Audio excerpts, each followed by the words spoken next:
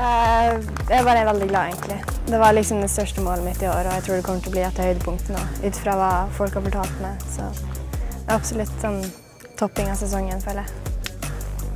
Det betyr liksom et sted hvor man kan virkelig matche seg. Teste hvor god man er og se hvordan det holder opp. Eh, Jeg vil egentlig bare dra bort dit og være godt forberedt og gjøre så godt jeg kan.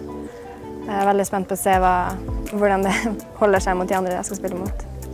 Men jeg vet jo at det er tøff konkurranse, så jeg har respekt for de jeg skal spille mot og skal prøve å gi de best mulig matching. Jeg føler alle muligheter, egentlig. Eh, Hvis spillet mitt er på topp, så vet jeg at jeg har nivået inne. Men timing må jo passe med form, så vi får se.